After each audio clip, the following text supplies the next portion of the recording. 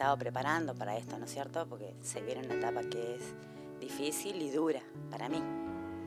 Bueno, teniendo en cuenta que ya está la fecha del juicio, bueno, ¿cómo se preparan? ¿Con qué expectativas? Bueno, yo me preparo con la mejor, con la mejor expectativa porque pienso que va, vamos a llegar a un buen final.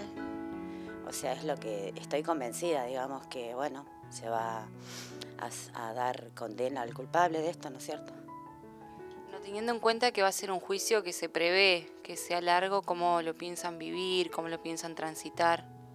Como hasta ahora, todos juntos, eh, con el apoyo de, de mi familia principalmente y de la gente que me acompaña siempre.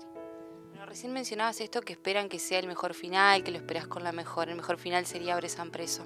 Sí, por supuesto. Es el, para mí es el mejor final y aparte estoy convencida que va a ser así. Bueno, ¿qué, ¿cómo te imaginas ese momento?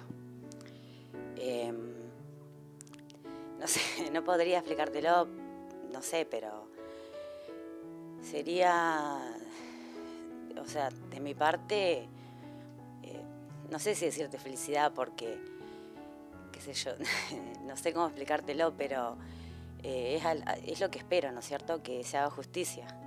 Y me hice un tatuaje hace una semana atrás, eh, a pesar de que siempre estuve en contra de eso, dije que nunca me lo iba a hacer, pero bueno, hace una semana atrás sentí la necesidad de hacérmelo y bueno, me lo hice, la llevo en la piel, pero o sea, es como una muestra de, de, de cariño hacia ella, ¿no es cierto? De amor, de amor profundo, pero igual aparte ya está en todo mi ser, desde lo más profundo de mi corazón, o sea, en todo.